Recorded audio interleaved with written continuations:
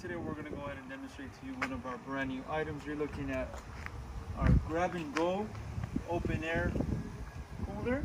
Okay, brand on this unit is gonna be our own company brand Cooler Depot. And you also will locate your temperature control right at the very bottom of that logo. So you can control your temperature on that control system. Now, I'm going to give you the overall measurements of this cooler. For the length, you're going to be looking at overall of 35 inches, front to back. You're looking at 28 inches, overall height. You're looking at 81 inches high. Okay.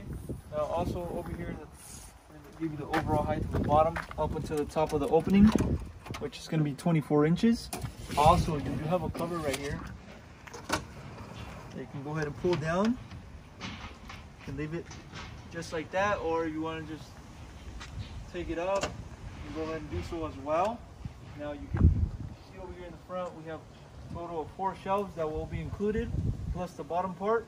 You also will be provided with an instruction manual. All the information is going to be on that booklet. Now measurements for the inside on this cooler. Front to back, you're looking at 15 inches. Overall length or length from the inside, 32 inches.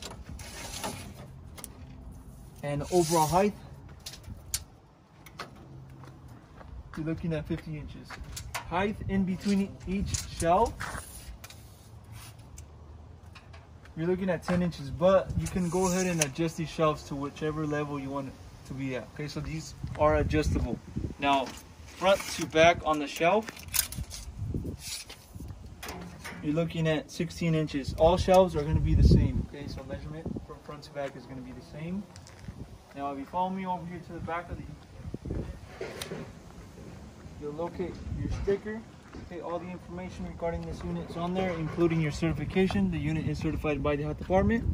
Also have a plug on the back. It is going to be a standard US plug. Compressor also located on the back for this unit. Okay, so all that's going to be located on the back. Have glass display on both sides of this unit. Obviously going to be open on the front. Okay, so if you're interested in one of these units, go on our website, coolerdepotusa.com. You can make a purchase one of these units on our website. Now, if you have any other questions before purchasing, you can also give us a call and we'll help you guys out. Thank you for watching.